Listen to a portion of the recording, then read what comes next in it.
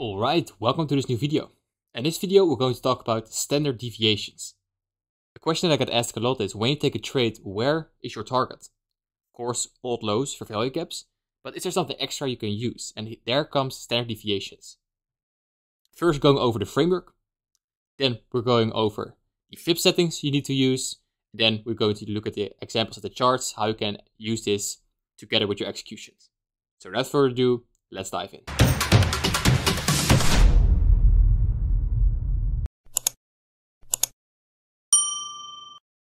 The first step inside the framework is you need to FIB the manipulation leg. So first we need to find the manipulation leg inside your price action. A manipulation leg is the leg that sweeps liquidity before a market structure shift. So in this example, the low towards this high, that is your manipulation.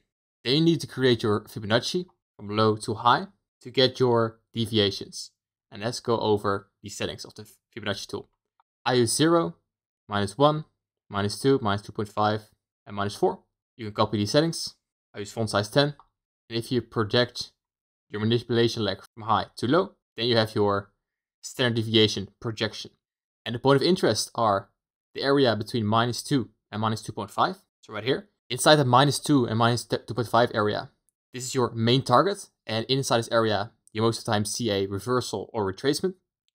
And if you don't see reversal or, or, or retracement inside this area, you can count on price to come to the minus 4 area. And how you can use this framework inside your trading?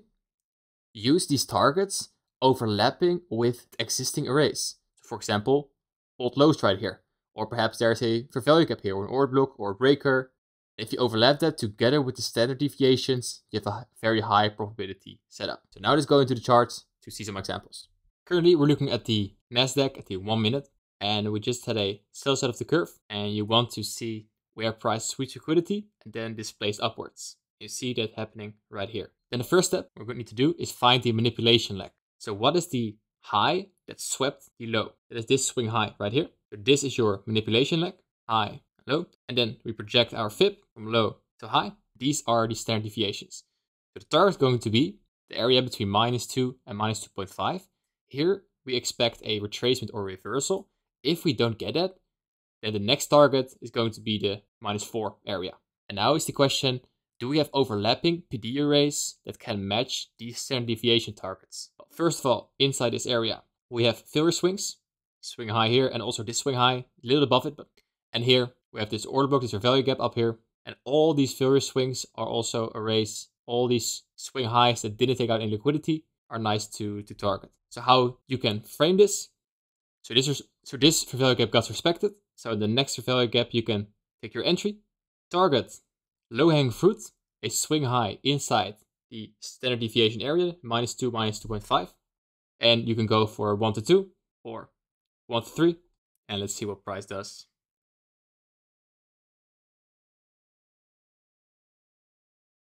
And it goes to the target. What's the potential re-entry here? Stings 1 and then goes. Let's see what price does inside this area. Do we retrace or reverse or do we just completely ignore it?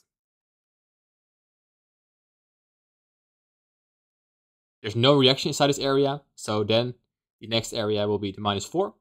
What is here on the 1 minute? There is an inversion value gap right here. And also a balanced price range up here, little up at the minus 4.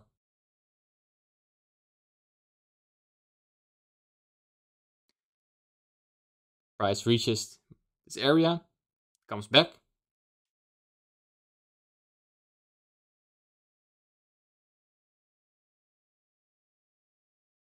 And eventually it reaches the minus 4 area.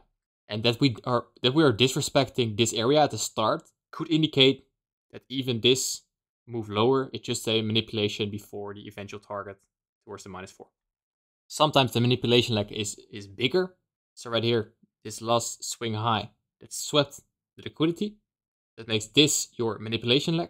You put your fib from low to the high. Let's zoom out right now. And the target, 2.5 minus 2, is exactly inside this one hour SIBI. That means, let's see if there is a potential entry inside of a value gap. There's a value gap here We can take the entry. Let's see if price gives us that. Otherwise, you can enter later. You would have missed this entry. So let's see if we can get another entry. That's your value gap right here. So then you can take the entry from here towards the target, minus 2. And you can target a 1 to 2, 1 to 3. I like to target 1 to 3. And then let's see what price does.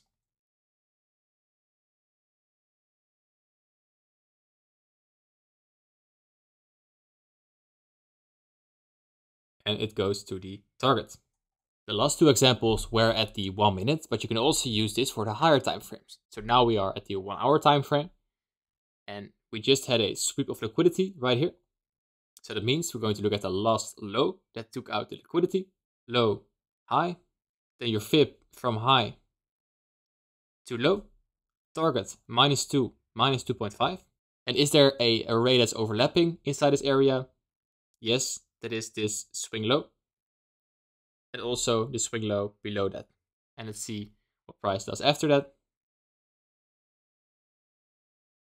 displaces, comes back into this fair value gap and this balanced price range together with the breaker and order block that moves lower towards the targets 2.5 and the lows right here. Now you understand the framework, how you can see the manipulation leg, how to project your FIB. Now it's important that you can combine this together with the earlier discussed PD arrays, but also with one of the most important daily bias concepts, and that is the accumulation, manipulation, distribution, the AMD, power of three. So right here, we have a Monday a Tuesday are kind of consolidating, and then you see a big leg lower, leaving all those failure swings here. So probably going to be a manipulation leg. We manipulate inside this fair value gap. Also, we sweep this swing low here, and after that, we see movement upwards. See if we can get some more energy upwards. Yes, we do. So then there's an indication we want to go higher. Perhaps we want to take out first swings. And then you can use your manipulation leg. What's the last swing high that took out the low here? Last swing high is right here. This is your manipulation leg. Swing low, swing high. Your target is going to be minus 2, minus 2.5. So right here, there's no value gap here. We have a breaker and order block that are, that are respected. So discount arrays are already holding. Now we have two fair value gaps, one here and one here. Take the entry in at the first one. Target is minus two. Do we have an overlapping array? No, we don't. We have this swing high. That's below the target. That's low hanging fruit. Then you want to target a 1 to 3 or 1 to 2. This example, let's do a 1 to 3. And let's see what price gives us.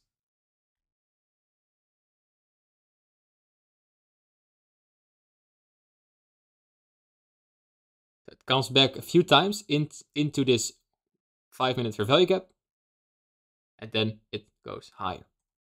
So here you combine your accumulation, manipulation, distribution together with concepts as order block, breaker, fair value gap, and the newly learned framework, the standard deviations. Thank you for watching this video. In this video, we discussed standard deviations and how you can use them to project the target of your trade. We went over Fibonacci settings, went over the framework, the examples, and I hope this further develops your understanding about these concepts. If you like this kind of videos, please like and subscribe, share it to all your trading friends, and I'll see you in the next one.